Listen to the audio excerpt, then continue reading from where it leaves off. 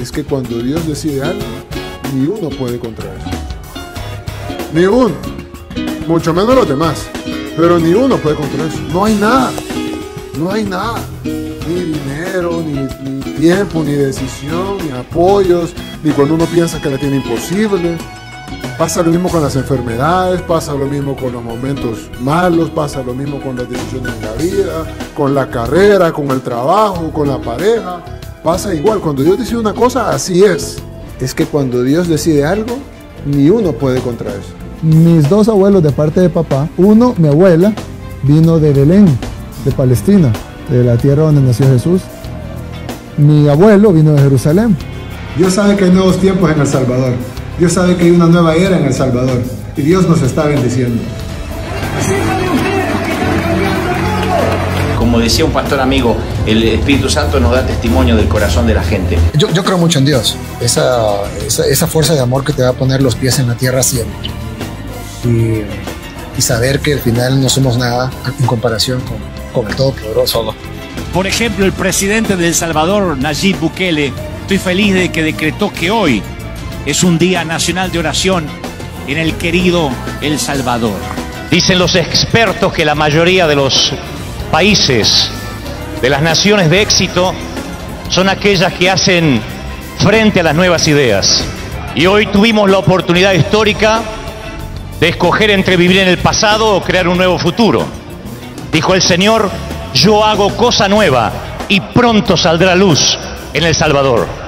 Si mi pueblo, El Salvador, se humilla y ora, busca mi rostro, sale de sus caminos malos, yo escucharé del cielo y sanaré su tierra. Y pasó lo que dijo el pastor. Entonces luego me dice el pastor, ya vio, ya van dos. Faltan dos. En la próxima usted va para presidente. Y mire, pastor, ahí sí se equivocó porque yo ya me inscribí para la reelección de alcalde. Y legalmente es imposible que yo gane la alcaldía, a menos que la perdiera. Y que luego vaya para presidente, no puedo. Porque tengo que terminar el periodo. El periodo dura tres años y él solo llevaría un año.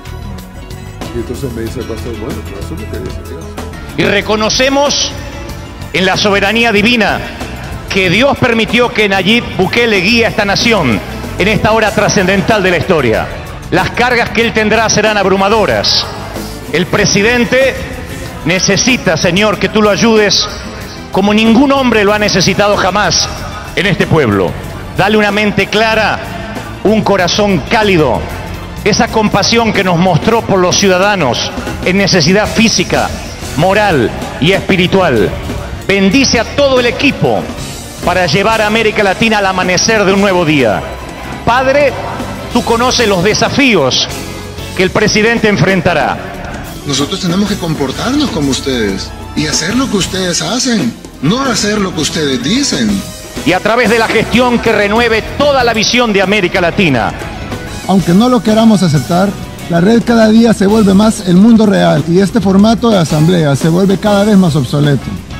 Y vendrán sobre ti las bendiciones y te alcanzarán el Salvador si oyes la voz de Dios.